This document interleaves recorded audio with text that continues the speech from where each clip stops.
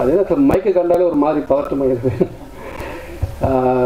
Media நண்பர்கள் எல்லாருக்கும் என்னோட தாழ்மையான வணக்கங்கள். இந்த படம் இவ்வளோ வெற்றி அடைஞ்சிருக்குன்னா எல்லா டைரக்டர் சொல்கிற மாதிரி தான் அதுக்கு நீங்கள் மட்டும்தான் காரணம் அது உண்மையும் கூட. சின்ன சின்ன யூடியூப் சேனல் அதில் கூட என் படத்தை ரிவ்யூ பற்றி போட்டு எமோஷனல் கனெக்ட் ஆகி வாய் வாய் வழியாக படத்தை பாருங்கன்னு சொன்னவங்க வா வாட்ஸ்அப் ஸ்டேட்டஸ் வச்சவங்க இன்ஸ்டா பண்ணுவாங்க ஃபேஸ்புக்கில் போட்டவங்க ட்விட் பண்ணுவாங்க பத்திரிகையாளர்கள் எழுதுவாங்க அவ்வளோ இது வரைக்கும் ஒரு நாளைக்கு மினிமம் ஆயிரம் கால் வரும் எனக்கு. கால் அட்டன் பண்ணுறது நாலு நாள் வேலையாக இருந்துச்சு. அவ்வளோ அவ்வளோ வாழ்த்து மழைகள். இதுக்கு தானே ஆசைப்பட்டேன். பாலகுமார்ங்கிற மாதிரி ஒரு மாதிரி ரொம்ப சந்தோஷமாக இருக்குது அத்தனை நல்ல உள்ளங்களுக்கும் என்னோட நெஞ்சார்ந்த நன்றிகள். படம் சார்ந்த சார்ந்த டிஃப்ரெண்ட் ஒப்பீனியன் சில பேருக்கு இருந்தது. அவங்களோட ஒப்பீனியனை நான் மதிக்கிறேன். அதில் அவங்க சொன்ன கரெக்ஷன்ஸ் எனக்கு சரின்னு பட்டதை நான் எடுத்துக்கிறேன். ஏன்னா சில பேருக்கு சில நான் படிக்கும்போது டிஃப்ரெண்ட் ஒப்பீனியன் இருந்தது. அந்த ஒப்பீனியன் மேலே நான் மரியாதை செலுத்த ரெஸ்பெக்ட் தன் அதில் எனக்கு அவங்க சொன்னதில் சரி அப்படிங்கிறத நான் அக்செப்ட் பண்ணிக்கிறேன். அதை நான் அடுத்த படங்களை சரி பண்ணிக்கிறேன். ஸோ உங்களுக்கு முதற்க நன்றி. போன முறை சொல்லும்போது என் அசிஸ்டன்ட் டைரக்டர் பேர் சொல்லும்போது சுரேஷ் விட்டேன். அறுபத்தி வந்தவங்க என்ன என் பேர் எப்படி கொள்ளலாம் அப்படின்னு. அதனால் சுரேஷுக்கு மட்டும் நன்றி. இது எல்லாருக்கும் போன முறை சொல்லிட்டேன். அட்ஜஸ்ட் பண்ணிக்கோங்க.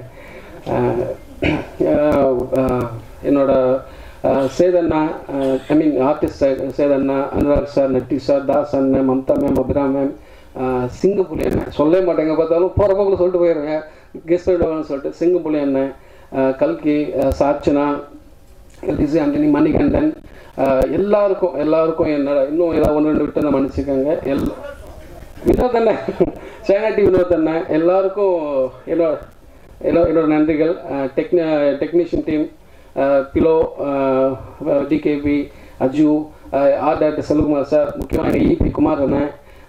எல்லாருக்கும் இன்னும் டிசைன் பண்ணவர் ராஜா கிருஷ்ணன் தண்டோரா டிசைனர் சவுண்ட் சைட் பண்ண ஒலி சிஜி பண்ண பிரசன்ட் பிக்சர் ஐ மீன் பேர் என்ன மறந்து வைக்க பிக்சர் ரைட் சாரி இன்னும் இருக்கிற டெக்னீஷியன் டீமுக்கும் என்னோட நெஞ்சான நன்றிகள்.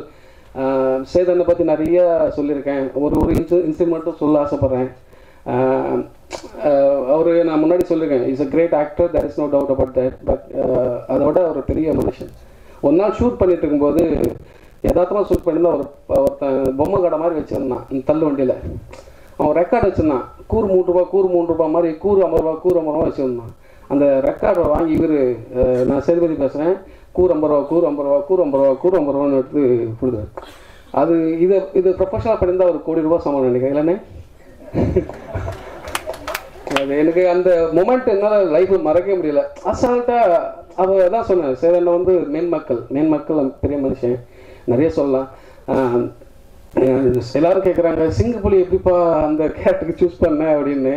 நான் ஒரு இன்சிடென்ட் சொல்ல ஆசைப்பட்டேன். அங்கே அங்கே தான் அவரை நான் சூஸ் பண்ண ஆசைப்பட்டேன். தொப்பின்னு ஒரு ஆடியோ லான்ச்சு தொப்பின்ற ஒரு படத்தோட ஆடியோ லான்ச்சு எல்லாரும் பேசிட்டாங்க. அந்த ஆங்கர் வந்து சிங்கப்புலி அண்ணன் கூப்பிட்றாங்க. அடுத்ததாக சிங்கப்புலி வந்து பேசுவார் அப்படின்னு சொல்லிட்டு போயிட்டாங்க. மனுஷனுக்கு என்ன கோவம் வந்துச்சுன்னு தெரியல. இந்த சாப்பிட்டுட்டு க- பல்லு இடுக்கல கறி மாட்டிக்கல அப்போ நாக்கு வந்து தொலாவிட்டுருலாம் அப்படி அப்படி வந்து இப்படி பேசி மைக்கு பிடிச்சி சொன்னார்.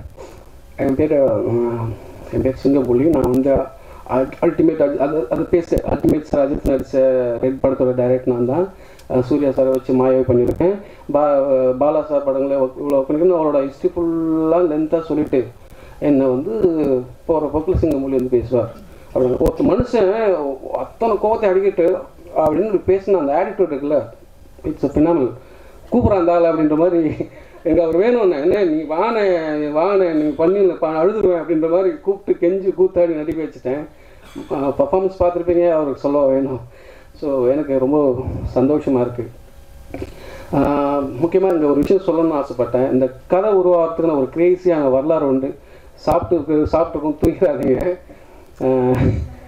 நான் நாளைக்கு முடிச்சுட்டு அடுத்து படம் பண்ணுன்ற முனைப்பில் இருக்கும்போது ஜேவி மீடியா என்னை கமிட் பண்ணாங்க. என்னையும் அண்ணாத்தை டைரக்டர் ராஜ்குமார் அவரையும் கமிட் பண்ணாங்க. கமிட் பண்ணும்போது ஒரு கதை கேட்டாங்க. நான் ஒரு கதை சொன்னேன். எனக்கு ரொம்ப பிடிச்சிருந்துச்சு இது ஸ்கிரிப்டு ஃபஸ்ட் டைம் என்னை கூப்பிட்டு அவங்க தான் டைட்டில் பண்ணி பண்ணாங்க தான். ஸோ கதை சொன்னோடனே அவர் இப்படி பார்த்தாரு. ஐயோ இதெல்லாம் எப்படி எங்கள் படம் பண்ணுறது பைத்தியக்காரா அப்படின்னாரு அவர். இல்லை என்ன ஒர்க் ஆகணும். சரி ஜேவி மீடியா ஜேவி சார்கிட்ட கூப்பிட்டு போனாங்க. ஜெய் சார் கிட்ட கதை சொன்னாங்க நீ நல்லா இருக்கடா அப்படின்னு. நல்லா இருக்கடா பண்ணலான்னு சொல்லிட்டு அவரு அப்புறம் அனுப்பிச்சாரு. அப்புறம் கூட இருந்தவங்க என்ன சொன்னாங்கன்னு தெரியல. மனுஷனுக்கு ஒரு மாதிரி கூப்பிட்டுக்கிட்டே நிற்கல அது வேணாண்டா எல்லாரும் ஒரு மாதிரியாக சொல்கிறாங்க எனக்கு ஒரு மாதிரியாக இருக்க. வேற பண்ணலாமாடா அப்படின்னாரு. இல்லை இது ஒர்க் ஆகணும் அப்படின்னு சொல்லிட்டு நான் அமைதியாக இருந்தேன். அப்படியே காலங்கள் தள்ளி போயிடுச்சு. அப்புறம் சாந்தனு பைக்ராஜ் சார் பையன் அவர்கிட்ட போய் சொன்னேன். அவருக்கு ரொம்ப பிடிச்சிருந்துச்சு இந்த ஸ்கிரிப்ட் அவரு நிறைய பிடிச்சிருக்கிட்ட கூப்பிட்டு போனார். பைக்ராஜ் சாரையும் கேட்டார். அவரும் கதை கேட்டார். அவருக்கும் ரொம்ப பிடிச்சிருந்துச்சு.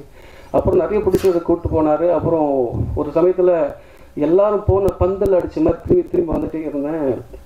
ஒரு மாதிரி டயர்டாகி விட்டுட்டேன்.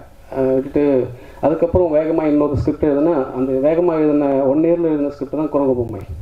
அது முடித்து ஓரளவுக்கு மரியாதையான பேர் கிடச்சிது. அடுத்து படம் பண்ணலாம் அப்படின்னும்போது சுதன் சார் அட்வான்ஸ் கொடுத்தாரு.